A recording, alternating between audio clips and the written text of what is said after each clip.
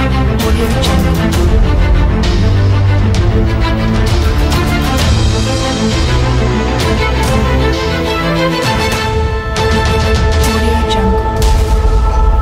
La nouvelle tenue de combat des forces armées de la République démocratique du Congo a été présentée ce jeudi 3 août 2023 à la presse au camp Kokolo par le général-major Kipongo, sous-chef d'état-major chargé de la logistique à l'état-major général des FARDC. Cette nouvelle tenue sera bientôt dotée aux militaires de la première et de la deuxième zone de défense, en commençant par la garnison de Kinshasa. Il s'agit euh, d'une nouvelle tenue que les démocratiques du Congo viennent d'acquérir pour doter tous les militaires de la ville de Kinshasa, en principe de la première zone et deuxième zone de défense.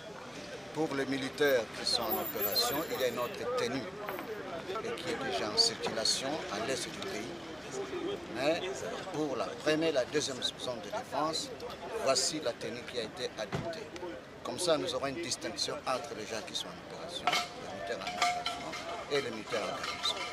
Bien sûr, il y aura une distinction. En voyant de loin, vous verrez que c'est la même tenue. Mais en vous approchant, vous verrez qu'il y a une grande distinction entre la force aérienne et la force navale. Et la force terrestre, évidemment. Donc, toutes ces tenues hein, représentent les différentes forces. On va voir un militaire de la force navale à partir de son béret et à partir de la tenue. On va voir le militaire de la force aérienne à partir de son béret et la tenue. La même chose pour la force navale. Cette tenue de combat vient s'ajouter à celle déjà dotée aux militaires en opération dans la troisième zone de défense. Bonjour mesdames et messieurs, bienvenue en direct sur Congo Live Télévision. Merci de votre fidélité. Vous nous suivez sur Congo Live, mesdames et messieurs.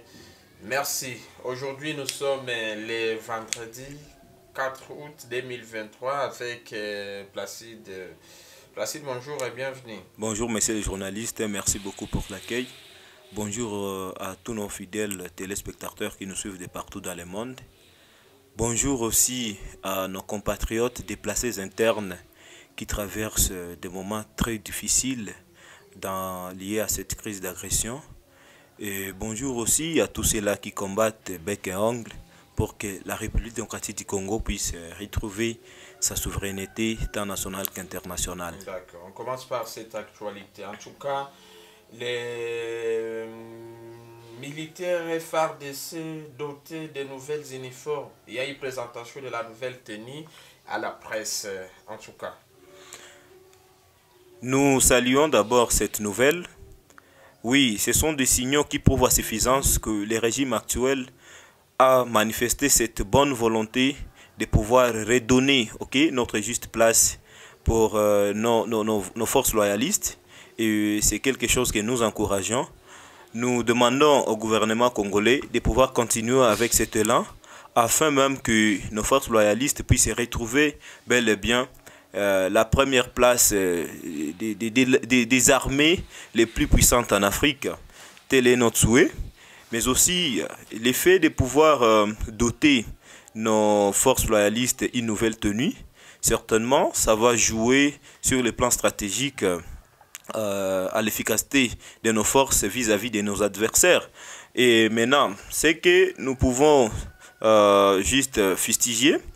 Nous n'aimerions pas que cette nouvelle tenue se retrouve encore du côté des ennemis. Et pour ça, nous demandons que ça soit centralisé sur euh, euh, une seule personne afin que, euh, que si, si, si, par exemple ça serait le chef d'état-major général de lui-même qui sera l'unique personne pouvant okay, décentraliser la, la, la, distribution de ces nouvelles tenues, ça peut nous être tellement bien parce que quelque part on se dit comment se fait-il lorsque on dote nos forces loyalistes d'une nouvelle tenue et que dans 24 heures, ou soit euh, voire même bien avant que nos valeurs militaires puissent porter cette nouvelle tenue, on apprend directement que ça se retrouve déjà dans le côté adverse du côté de la rébellion 2023. C'est quelque chose que nous fustigeons et directement nous pointons du doigt soit les logisticiens de notre force loyaliste, soit euh, les pays qui, qui, nous fournit au moins les, nos, nos, équipements, surtout les tenues militaires. Donc c'est dans ce contexte-là que nous disons, si du moins nous apprenions que euh, cette nouvelle tenue s'est retrouvée directement du côté de, nos adversaires, nous n'hésiterons pas à dénoncer ok, cette complicité. Et cette complicité, comme je l'ai dit, nous pouvons pointer du doigt directement les pays qui nous fournissent notre équipementier, ok, notre équipementier militaire, mais aussi les, les chargés de la logistique de nos forces loyalistes. Ce sont eux qui doivent répondre devant euh, les instances judiciaires militaires, bien sûr. Donc là, automatiquement, nous voyons l'auditorat militaire afin d'éclaircir la population par rapport euh, à, cette, euh, à ces trafics que nous nous jugeons des complices et du complot contre la nation congolaise. Donc c'est juste ça. Est-ce sont fabriqués à Kinshasa ou bien on a des partenaires à l'étranger qui nous fournissent les uniformes? Voilà, c'est ce que je suis en train de dire. Ok, c'est ce que je suis en train de dire. Ces partenaires là-bas. À un moment, il faut rappeler, on a vu que on commençait déjà à coudre les, les, les tenues militaires à Kinshasa. Je sais, quoi, je sais bien qu'il y a un atelier, à un certain moment, on a vu le président Tshisekedi aller visiter, on a vu en tout cas les uniformes, on est en train de les confectionner à Kinshasa. Oui. Certainement, ça, ça, pouvait être ça notre souhait. Ou bien, que, si écoutez, viennent à l'étranger, on ne sait pas. Bon, nous avons des partenaires ok, certainement, qui, qui interviennent sur le plan militaire, parce que quand même, nous ne pouvons pas vivre comme étant un pays isolé. Nous sommes euh, un géant en Afrique, et sur le plan militaire, nous pouvons certainement avoir euh, des, des, pays qui peuvent euh, traiter, qui peuvent signer des partenariats avec la République démocratique du Congo en échange de, de, de certains produits. Mais qu'à cela ne tienne, la loi de programmation militaire, la loi de programmation militaire qui a permis quand même, qui est, ok, la revue à la hausse du, budget militaire, du budget de la défense nationale, on peut souhaiter qu'il y ait maintenant des industries militaires ici en République démocratique du Congo pour que nous-mêmes, nous puissions confectionner nos tenues et que nous ayons le contrôle du trafic de ces tenues. Donc, si du moins on, on retrouverait cette tenue dans, entre les mains de nos adversaires, là, automatiquement, on saura retracer comment est-ce que c'est parvenu entre les mains de ces adversaires? Mais partant du fait que jusqu'à présent, ce n'est pas encore... Euh, ce n'est pas encore réalisé, donc jusqu'à présent, nous n'avons pas encore des industries militaires ici chez nous en République démocratique du Congo. Comme ce sont des partenariats externes, nous mettons en garde tous ces pays partenaires qui traitent avec la République démocratique du Congo et en coulisses, ils traitent encore avec nos adversaires parce que c'est quand même inconcevable que l'on puisse retrouver la qui a été dotée, donc euh, qui a été nouvellement dotée à nos forces loyalistes et que l'on la retrouve encore chez, chez, nos adversaires. Donc c'est là où il faudrait que nous puissions mettre de l'accent, mais quand même avec l'intention du chef de l'État, l'effet de pouvoir redonner encore une bonne image à nos forces loyalistes, c'est quelque chose que nous saluons, mais cette complicité de nos pays partenaires, c'est ce dont nous fustigeons et nous condamnerons tous les jours au cas où ces gens ne parvenaient pas à respecter bel et bien euh, les partenariats, les engagements, parce que lorsqu'on signe des partenariats, ce sont des, engagements que chaque partie prenante doit être à mesure de pouvoir respecter. Et si du moins ce ne sont pas respectés, moi je pense que nous avons le plein droit de pouvoir euh, les traduire en justice afin que euh, la, RDC soit remis dans ses droits. Donc c'est juste ça. Mais aussi, ce dont nous pouvons souligner est que nous savons très bien que nous sommes en train de combattre, pas seulement contre la rébellion de 23, derrière la rébellion de 23, nous savons bel et bien, il y a la communauté internationale. Or, la communauté internationale, quelque part, elle est complice indirecte de tout ce qu'il y a comme euh, agression répétitive chez nous au Nord Kivu, pas seulement au Nord Kivu, mais, à Nituri et partout à, l'est de la République démocratique du Congo.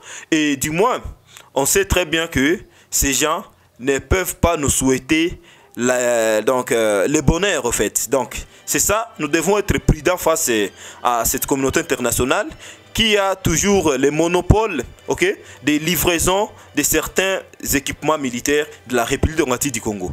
Mais, la question, monsieur Placide, c'est vrai, on discute autour des, uniformes congolaises. Est-ce que la dotation des tenues suffit On sait que d'ailleurs, on est champion vraiment en dotation des uniformes. Et d'ailleurs, il faut parler au Nord Kivu, il n'y a même pas une année, pas même six mois qu'on a vu encore les changements. Des, des uniformes. Et d'ailleurs, d'abord, les militaires engagés dans des opérations au Nord Kivu ont leurs propres uniformes. Comment comprendre cela? Mais ça crée un peu de la cacophonie. Est-ce que ce n'est pas une cacophonie? Pas du tout, je ne vois pas si c'est de la cacophonie.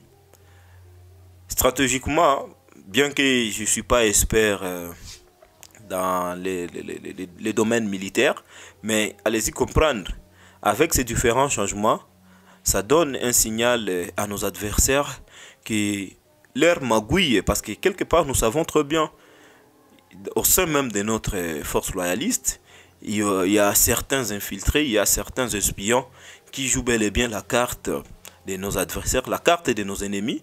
Et pour ça, quelque part, lorsqu'il y a changement de la tenue, ces gens, peut-être, s'ils auraient déjà octroyé l'ancienne tenue à leurs partenaires, nos ennemis, comprenez, quelque part, ils n'auront plus euh, cette même aperçu. Donc, je ne peux pas dire que la, la, la, dotation ou soit les changements de tenue, ça suffit, mais il y a quand même des efforts qui sont en train d'être fournis afin que la RDC, nos forces loyalistes puissent retrouver encore euh, euh, les, les, leurs forces, leurs forces de frappe, leur place, leur place des, des, des, des géants en Afrique. Et ça, quand même, nous pouvons encourager c'est pas seulement la dotation de la tenue. Allez-y comprendre lorsque le gouvernement congolais se donne ce courage de pouvoir euh, doter encore nos forces loyalistes des, des, avions de chasse, des, des, drones, des repérages des différentes positions de nos adversaires, même si nos adversaires pouvaient se, cacher dans des caniveaux, parce que c'est leur mode opératoire, mais au moins avec ces différents drones, on est à mesure d'identifier, de les localiser, même au travers à une distance de, plus de 2000 km. Donc c'est quelque chose qui manifeste au moins ces soucis de pouvoir revoir nos forces loyalistes, retrouver euh, leur juste place des géants en Afrique. Et à part ça, il y a aussi des formations militaires qui se font et il y a des formations de nouvelles unités. ok? La brigade de Guépard, c'est quelque chose qui nous enjaille et on est sûr et certain que nos forces loyalistes vont bientôt mettre en déroute cette fameuse rébellion 2023 qui a longtemps endeuillé nos familles. Pas seulement euh, euh, la formation de nouvelles unités, il y a aussi, euh, il y a aussi la, formation des, des, des, parachutistes, des paracommandos. Donc, comprenez, pour le moment, nous sommes en train de revoir encore une armée. Parce que je me dis, à l'époque de Joseph Kabila, on n'avait pas une armée. Comment se fait-il quelqu'un qui passait seulement quelques mois dans la brousse et après quelques jours, il intègre l'armée et il, octroie, il trouve euh, des promotions et se retrouve directement général sans aucune formation, sans aucune déontologie, sans aucune éthique et c'est ce dont nous avons connu à l'époque de Kabila. Donc tout ça. Même, euh, dire euh, qu'on n'avait pas une armée, c'est exagéré. On a vu cette même armée qui a combattu et qui a gagné la guerre de 2013-12 Mais contre la C'est pas cette armée. Il a fallu qu'il y ait quand même euh, un vaillant qui, d'ailleurs, je salue. Et bon, je peux dire juste un vaillant d'heureuse mémoire, d'heureuse mémoire, allez dire. L'effet colonel Mamadou Ndala d'ailleurs qu'on a comploté pour sa mort, il est venu avec non cette même communauté internationale euh, en utilisant bien sûr euh, certains éléments internes au sein de nos forces loyalistes, au sein du haut sommet de l'État congolais à l'époque. Tout ça, c'est quelque chose qui, qui, est resté gravé dans nos mémoires, dans nos esprits, et on n'oubliera jamais ces complots du haut sommet de l'État contre un vaillant qui a eu à perdre sa vie pour la défense de l'intégrité territoriale. Et pour ça, moi j'étais en train de dire, il a fallu que ce feu colonel Mamadou Mustafa Ndala puisse arriver. Il a déclassé d'ailleurs les régiments. Il a dit que lui ne va pas avancer avec les régiments. Il est venu avec une nouvelle unité, ok? Oui, la brigade d'intervention rapide qu'on a surnommée des commandos. Et avec sa détermination, avec bien sûr la complicité de la population civile, ok, avec le soutien de la population, Oui, à l'époque, on n'avait pas encore connu les concepts Wazalendo, mais ce sont ces mêmes jeunes Wazalendo qui ont eu à travailler avec euh, le feu colonel Mamadou Ndala. Non, ce n'était pas des groupes armés, c'était juste la population civile. Oui, la population civile qui maîtrisait bien les, différents, les différentes positions de rebelles du M23. Et c'est cette, population qui était en train d'orienter nos forces loyalistes, l'effet colonel euh, Mustafa Mamadou Ndala, d'heureuse mémoire, jusqu'à ce que cette brigade spéciale a mis en déroute la rébellion du M23 qui était déjà en débandade et certains de ces éléments rescapés, oui, avaient pris fuite dans des cas de déplacés en Ouganda, avaient pris fuite euh, au Rwanda. Et nous ne savons pas par quelle baguette magique cette même rébellion s'est maintenant retrouvée aujourd'hui en 2023 euh, parce que ça, fait déjà presque, euh, presque deux ans nous sommes en train d'aller dans les deux années que cette rébellion a vu encore les jours. Oui, ça a été stimulé bien sûr par cette même communauté internationale qui ne nous veut pas au moins la stabilité. Merci Placide. Les États-Unis d'Amérique qui ont annoncé en tout cas une aide humanitaire supplémentaire de près de 48 millions de dollars pour répondre aux besoins urgents des personnes touchées par la crise qui se vit actuellement en République démocratique du Congo. Des aides en aide Contradiction totale. Donc tous ces gens nous veulent toujours euh, leur tendre la main. Donc ils veulent que nous puissions, hein. que nous puissions être toujours là à nous courber derrière euh, leurs décisions. Ne vous en faites pas. On dit toujours que la main qui donne reste toujours au-dessus de celle qui reçoit. Et maintenant, si du moins la population congolaise et les gouvernements congolais comprenaient au moins ces concepts, moi je pense que euh, nous ne pouvons pas rester proie à leurs euh, à leurs différentes aides. Et quelque part, c'est là, j'ai dit, c'est une contradiction totale parce que la population congolaise, s'il est faut vraiment, ça peut être très bien et ça peut être un, signal fort contre ces impérialistes et contre ces occidentaux qui euh, continuent à orchestrer la misère euh, de la population congolaise et nous viennent la journée, soit disant qu'ils viennent nous aider. Donc là, moi je dirais, les États-Unis semblent jouer les sapeurs-pompiers. Pourtant, ils savent très bien quelle est la source de cette misère. Si du moins ce genre ok, était sincère envers la population congolaise, envers les gouvernements congolais, oui, ils ont tous les moyens pour mettre fin à cette guerre. Donc, il ne faudrait pas résoudre les conséquences. Ça sont des conséquences. Mais nous avons besoin qu'il y ait la résolution des causes, ou soit de la cause de cette guerre. La cause de cette guerre, bien sûr, ok, c'est la convoitise de nos ressources minières. Oui, parce que c'est ça, c'est ça le bien fondé de ces différentes agressions nous imposées par la communauté internationale, dont les États-Unis euh, font partie. Donc, on ne peut pas se voiler la face si du moins ces gens souhaitent vraiment que la paix puisse revenir chez nous en République démocratique du Congo. Ces gens ont cette ont, cette capacité de les faire. Oui, ils ne doivent pas nous tromper avec des aides. Et donc, c'est comme quelqu'un qui, nous, nous avons besoin de la paix, mais ils nous viennent avec du pain. C'est très, très contradictoire. C'est contradictoire. Et nos, déplacés internes ici, certainement euh, pour l'instant, ils en ont besoin, mais c'est un besoin à court terme. Nous voulons qu'il y ait une résolution à long terme de ce qui a causé qu'il y ait ces déplacés internes. Et les déplacés internes sont causés par la guerre.